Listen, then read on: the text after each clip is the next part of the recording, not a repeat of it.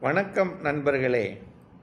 இந்தியாவில் ஊழல் லஞ்சம் இல்லாமல் ஆட்சி நடத்த முடியாது என்று கூறிய காங்கிரஸ் தலைவர் இந்திரா காந்தி அவர்களுடைய கூற்றை பொய்யாக்கி பத்தாண்டுகள் ஆட்சியில் தானும் சரி தன் அமைச்சரவை சகாக்களும் சரி ஒரு குண்டூசி கூட திருடிவிட்டார்கள் என்று யாராலும் குற்றம் சுமத்த முடியாத நல்லாட்சியை தந்த ஊழலற்ற ஆட்சியை தந்த மோடியின் ஆட்சியே மீண்டும் வர வேண்டும் நல்லாட்சி தொடர வேண்டும்.